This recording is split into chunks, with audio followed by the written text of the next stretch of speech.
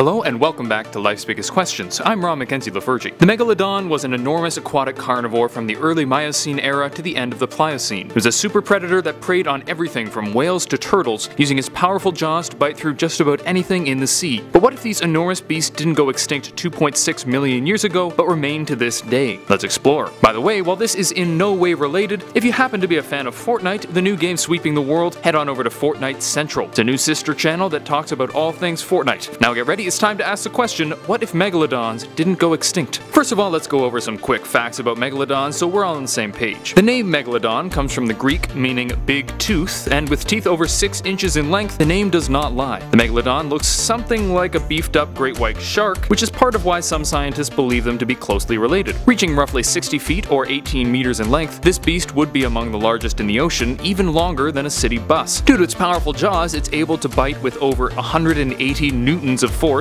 which is why it's believed that the megalodon attacked its prey from the side, biting through its body into the vital organs, rather than attacking from beneath like a great white shark. This creature was built to hunt and was an extremely successful predator, preying mostly on large creatures like whales, seals, and giant turtles. But if these creatures were so incredibly fit for their surroundings, how did they end up going extinct? Let's look into it since this could help us understand them and understand the necessary changes to the world in order for them to survive. Climate change certainly played a factor in its extinction. Not the man-made climate change we've seen in recent years, but the natural, much more gradual change that has been seen throughout the history of the Earth. Global cooling made it more difficult for them to survive in many climates. However, as the temperature changed, many migrated to more suitable areas. Thus, climate change had little direct effect on the extinction. However, this climate change had another effect that did lead to the extinction of the megalodon. By the end of the Miocene, many of the species the megalodon preyed on had gone extinct, and those that survived were more difficult to catch. The lack of food and competition with other super predators led to the extinction of the megalodon. So if we're imagining a world where megalodons didn't go extinct, we would need the food sources, particularly the mysticetes or baleen whales, to not go extinct either. This means that not only would our world have enormous sharks swimming around, but whales would be more diverse and abundant as well. This in turn would mean that smaller fish and krill would have to be more abundant to feed the whales, which in turn would feed the megalodon. But that's not all. The increase in mysticetes would mean that the other species of super predators could also survive. This means that we wouldn't only have to worry about the megalodon, but other large creatures as well. All this is to say that the addition of the megalodon would make waves in the ocean's ecosystems. Pun very much intended. But there's another rather pressing question to answer. How would this affect us? Well, if we're looking at how early humans would interact with megalodons, we could look at the video game Ark. If you play Ark, you'll know that these pesky prehistoric sharks love to strand low-level players on islands. There's nothing more frustrating than swimming to an island only to find yourself surrounded by megalodons. And this is something that could well have been an issue in the early days of humanity. Since megalodons tended to reside off the coast, even a trip on a raft or small boat could lead to an attack. However, there were already large dangerous creatures in the ocean at that time, and the addition of another likely wouldn't have huge effects on humanity's travel across the ocean. Nowadays, the existence of megalodons wouldn't have a huge effect on humanity as a whole. It would certainly be interesting, albeit terrifying, to see a living one, but we have progressed to the point where we don't really depend on seafaring on small vessels. Perhaps there would be the odd story of a megalodon attack off the coast, which would of course make the headlines, but the actual odds of this happening would be rather slim. And now we return to our question, what if megalodons didn't go extinct? Well, if the megalodon was to survive, sea life would likely need to be more diverse and abundant in order to feed all members of the ecosystem. In terms of its impacts on humanity, it might have been quite terrifying in man's early days, but modern humans likely wouldn't have much trouble with it. That said, I don't know about you, but I might think twice about going into the water knowing there could be a bus with teeth waiting for me. Thank you for watching Life's Biggest Questions. I hope this was interesting and informative, and maybe even inspired you to look into it further on your own.